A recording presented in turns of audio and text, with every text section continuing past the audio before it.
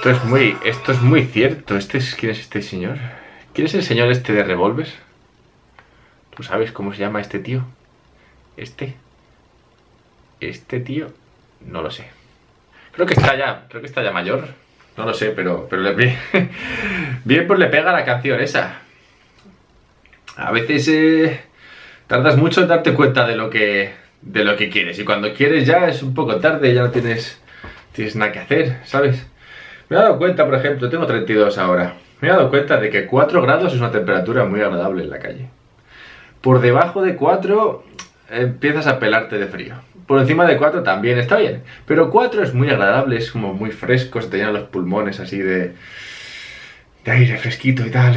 Es muy agradable. Lo desconocía esta, este, este hecho. ¿Qué más desconocía? Hoy, hoy es que. Hoy es que. Hoy es que he visto a un tío. Hoy he visto a un tío muy guay. Mike Boyd, creo que se llama. Le he encontrado ahí en YouTube, ¿vale? En plan.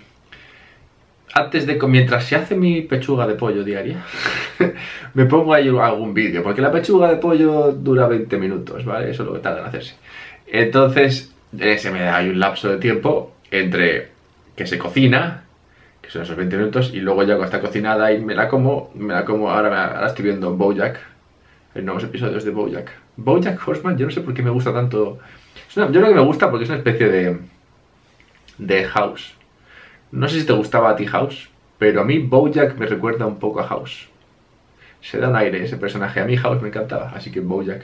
¿Cómo no puede ser de otra manera? Me encantaba. Me encanta tanto que yo soy súper antidisfraces. Soy súper antidisfraces, en plan, no sé por qué, pero desde pequeño me ha dado por saco lo de disfrazarme, ¿sabes? En plan, no sé por qué me da tan mal rollo.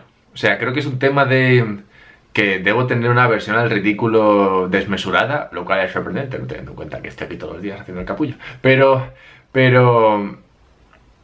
Sí, no sé, no puedo. De hecho, de hecho yo creo que te- tengo recuerdos de siendo yo muy pequeño a alguien intentar pintarme la cara para poner vestirme, vestirme de, de- disfrazarme de gato, ¿sabes? O perro, abeja, yo que sé, cualquier mierda de esas. y yo en plan de, eh, relaja con la, con la cera esa. Píntate los labios si quieres. Pero no, no, no, no me, no, nunca me ha gustado, nunca me ha gustado, pero, y no sé por qué, no, pero me disfrazaría de Bojack. me parece un gran disfraz. Es que esas cabezas de caballo me flipan. De hecho, otro día en, París, que estuve en un fiestorro, lo puse ahí en Instagram, me saqué una foto con uno que tenía un, un una careta de caballo de estas de, bueno, de unicornio en realidad. y era muy guapa. Tengo que hacerme con. Entonces me podría, me podría disfrazar de Bojack y estaría a gusto. De hecho, creo que igual es algo que he superado. Y si lo he superado habrá sido gracias al canal. Porque yo antes me daba, tenía aversión a esto. Pero sí, igual me lo he quitado con esto de- del. Mira tú si es que esto es terapéutico. ¿Qué decía yo? Que lo estaba viendo Bojack, antes estaba viendo vídeos, Mike Boyd. Vale, Mike Boyd, este tío no sé quién es, ¿vale? Pero yo estoy con el tema ese del, del muscle up, que es eso de que subes y luego subes, ¿vale? Y estoy peleadísimo con eso. ¿Ves? ¿Te das cuenta cómo mi, mi está inclinado? De hecho, otro día lo medí con el móvil este que tiene la cosa para medir y está un grado de, hay un grado de desnivel. Que un grado parece poco, pero es suficiente para que la silla se vaya. O como para que todo parezca un poco escorado, como el Titanic. Mike Boyd me ha enseñado cómo hacer la cosa esta. Y, me la ha enseñado así por las drogas. En plan, el tío está... Va, o sea, el tío es un poco como yo, pero con menos vergüenza.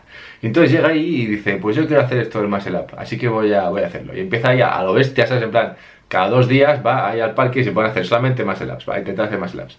Y se da cuenta de que no llega a ningún sitio y, entonces se compra unas bandas de estas elásticas para hacerlo con ayuda y tarda 92 días, pero a los 92 días es capaz de hacer eso que se había propuesto hacer, que eran 5 muscle ups seguidos. 92 días.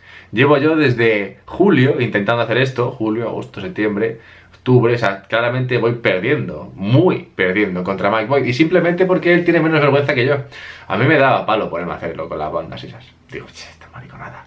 Porque además había visto otros vídeos de, gente así, en plan de otros tíos mucho más preparados, en plan tíos fuertes y guays, que explicaban cómo hacer el muscle up y ninguno decía nada de las bandas esas. Sin embargo, este tío se plantea su meta y lo supera. Y ha llegado en 92 días. 5 más el te cagas. Y no es que esté en forma, o sea, le ves y hombre, está en. Yo sé, ¿sabes?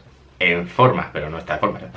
O sea que digo, joder, pues eh, si este hombre capaz de hacerlo, digo, yo debería sacar. Así que esta tarde estaba ahí con la banda elástica. La verdad es que se nota. Aún no he conseguido hacer ninguna ni con la banda elástica, lo cual es realmente ridículo. Pero, pero creo que dentro de poco va, a haber avances aquí. Y es que es importante, no sé si he dicho esto al principio, es importante, ya lo decía el chico este de Revolver, lo de, lo de encontrarle el sentido este a lo que quieres hacer con tu vida. Me doy cuenta, me doy cuenta de que mi vida es un poco loca, ¿no? Pero, pero que está bien, porque de alguna forma yo estoy yendo donde quiero ir, o digamos que sí, o de hecho estoy igual donde ya quiero estar.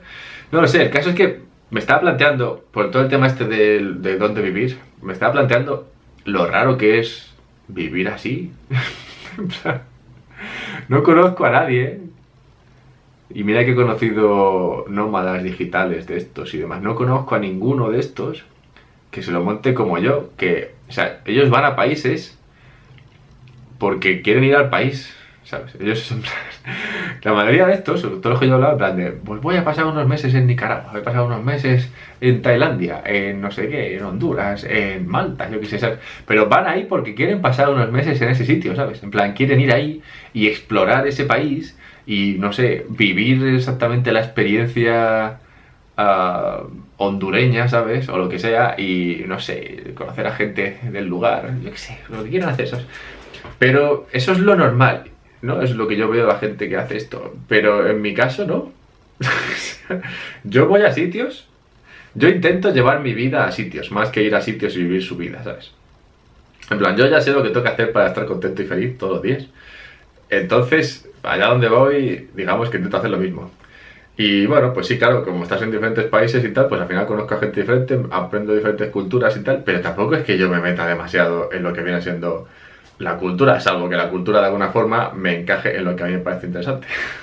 que no suele ser el caso, a veces sí, pero por lo general no ocurre. De modo que he estado en un montón de países y ciudades, pero simplemente persiguiendo oportunidades, que es lo que a mí me interesa.